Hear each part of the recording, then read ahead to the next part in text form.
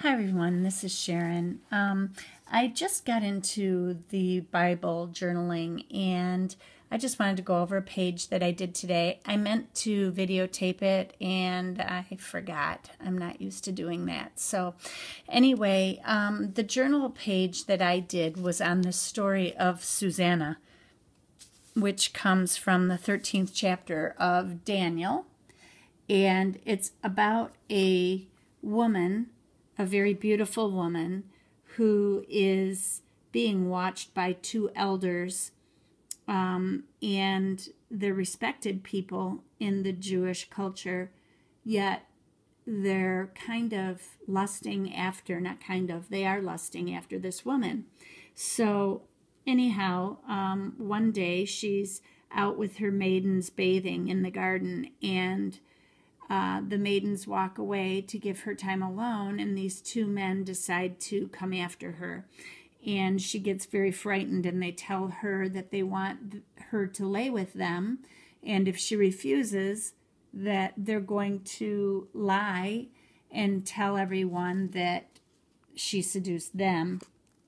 And anyway, that's what it came to. She screamed for help.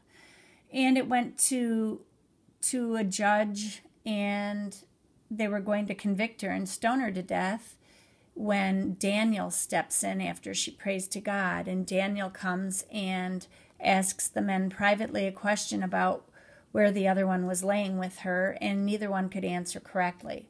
So it ultimately freed her.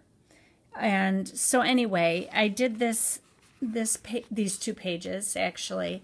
I, I wrote in here the truth will set you free kind of reminded me of Martin Luther King and the Bible and all of that. And then I also put in a, gag, a gavel and uh, I wrote down justice here.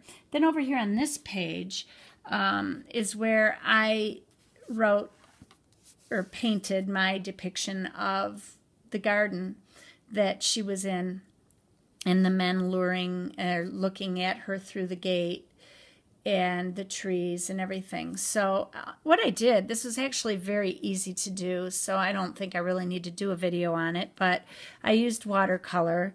I just quickly penciled some outlines of where I wanted trees to be and put them in there. And then I put in some stones for the gate and a door, walkway. And then I basically just painted in watercolor with a water brush with very little water and put it on the page that was not prepped in advance. Um, so I was trying to be very careful. Uh, it looks like the page is torn here, but actually it's just a water line. Oops, I'm sorry, I'm off of camera here. It's just a water line that you see here. It's not torn.